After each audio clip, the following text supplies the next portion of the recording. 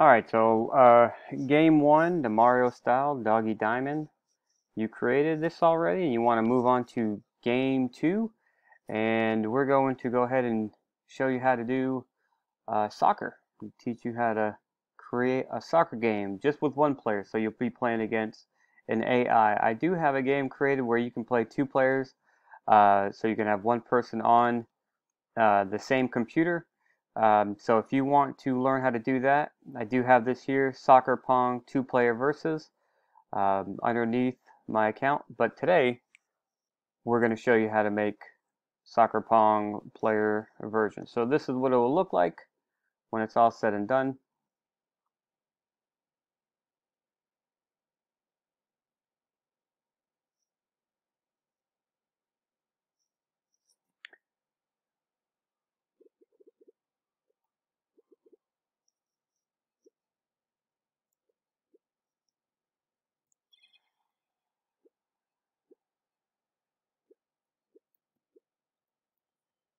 Ah, I'm a little rusty. It's been a couple months. All right, you get the point. All right. Um, I was having a little trouble finding a way to make the AI follow the ball and still hit it over to the right. Um, but if you, as you see, is um, I have this. I have the goalie going up and down. Um, I have the ball created it from scratch, so it's not a perfect sphere, uh, but it does get the, the job done. Uh, so when you're creating the game, you can modify and amend as you see fit, but I will give you the basics uh, on how to create, okay? All right, so let's go ahead and create a new game. So you're gonna go up, My Games, create a new game. Since this is the second game in the series, I'm going to move a little faster than I did the first time.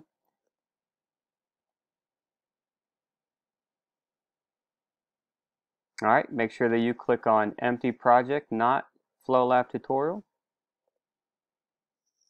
All right, here we go. We got the settings.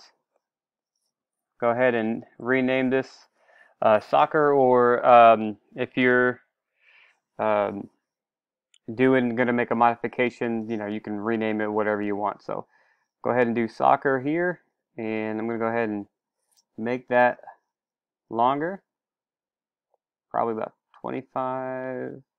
You can make this however long you want. Uh, actually, since we're doing this just uh, one full field, I'm actually going to make this 32. I'm going to make it as long as I can. And I think the height to kind of cover up my screen here We'll go ahead and make that 17. Uh, my gravity uh, for the x-axis at 0, gravity for the y-axis at 45. Advanced, that can, that can uh, stay the same, so I'm good there. Hit OK. Next, we're going to go ahead and change the color, so click Game Levels at the bottom. And as you see, it's white. Let's go ahead and change that. I'm going to go ahead and keep mine, you know, kind of a greenish, same, similar to a soccer field. So I choosing any color here. If you want to, you don't have to keep it green, of course. Uh, so I'm going to go ahead and click OK. Yep, that's fine. All right, now I'm going to go ahead and create the wall and base.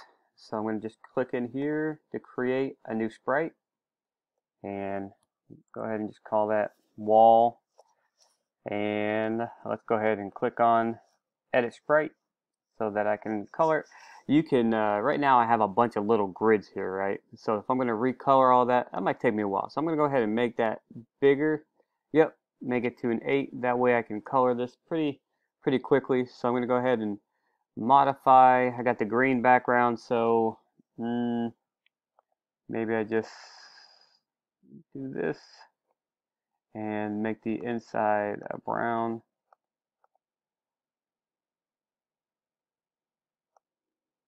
I'm go ahead and click OK.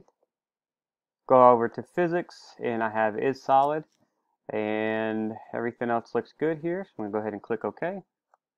Move that, click on it, clone. I want to clone it all the way up. And again, you can choose any sort of color scheme that you want. You can pause the video while you create and then come back to the video when you're done. Go ahead and leave that like that. That looks good. Click done cloning.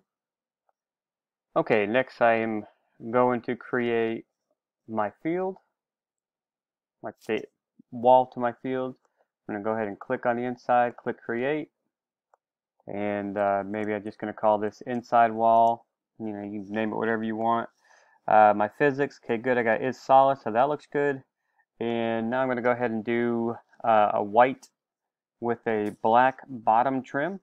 Okay, so this is going to be my bottom wall, right? Because I, I mean, you can create it, make it white all the way around or whatever you want to do, but I made mine a white wall with a black trim. So I'm going to go ahead and color that. And I'm going to color that bottom black. I'm going to click OK. And inside wall, I'm going to actually call this bottom. That way I know that this sprite is for the bottom. And I need to move that over. Uh, that should be good. Go ahead and clone. Move that over. Okay. Now I'm going to do the same thing for the top. So I click create. Uh, go ahead and just top wall. Again, physics looking good. Now I'm going to color. So now I'm going to create white, but then with a black top. And I'm going to go ahead and click OK. Sorry, my recording button's in the way. That's good. And click OK. Clone. Whoops. Make that go all the way across. I'm just holding down the left trigger while I do that. And go ahead and click done cloning and move that up. Move that up. Go ahead and delete that. Alright, so now I have, as you see, you have the um, the sides are open, so I'm going to have to create the sides now. Alright, I have my uh, right corner here, so I'm just going to go ahead and click, and I have to make a sprite. This is going to be uh, bottom right corner.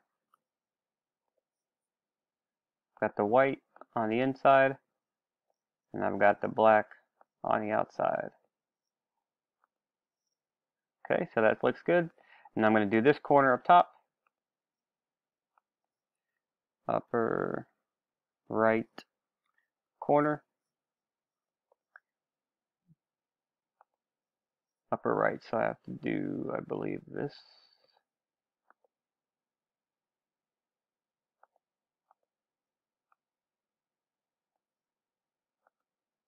Yep, that's good. Now I got to do the upper left hand corner.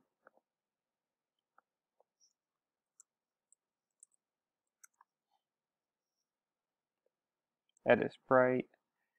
Uh, let's see, what am I doing?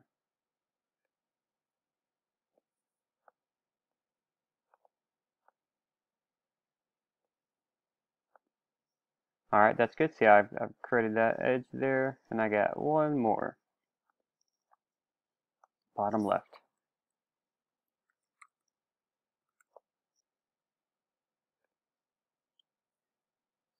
Ooh. Uh, that's not right.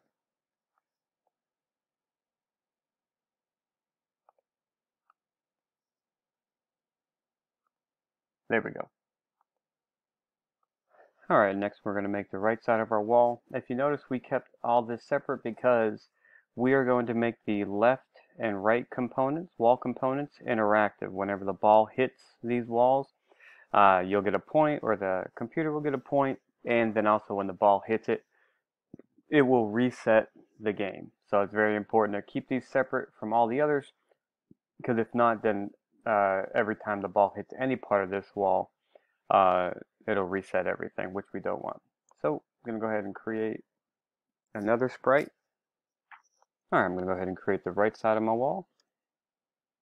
rename that just right wall.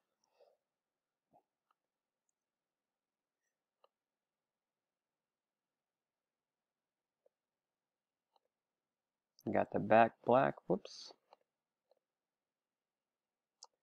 Click OK. Go ahead and clone that. Done cloning. And now create the left wall. Rename that left wall. Edit my sprite. Back is black.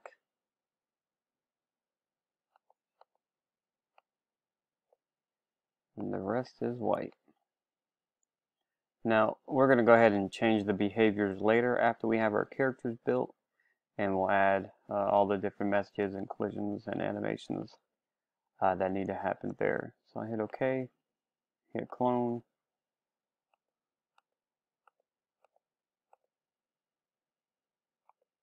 Done cloning. All right, now we're starting to look a little bit like a soccer arena. Okay, next I'm gonna go ahead and create a little inside, I guess, edge for my uh, goalie, uh, computer goalie to just kind of bounce back and forth. So uh, that looks about good. Rename this edge or whatever you want to rename it. Now I have these big blocks, but I'm to go ahead and make that a little bit, um, that black line a little bit smaller. So let's see, let's go ahead and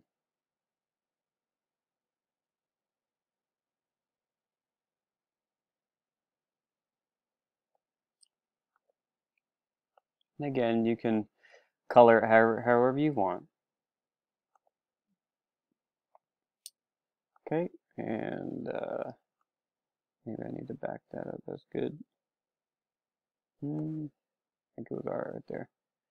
And actually, I think I might want that line a little thinner. So I'm actually going to go and make that white. That way I get a nice thin line. again, you can modify however you want. Sorry, the recording button's in the way of the OK button. Oh, that's kind of a pain. Sorry. There we go. All right, yeah, that's got a thinner line. Go ahead and clone that.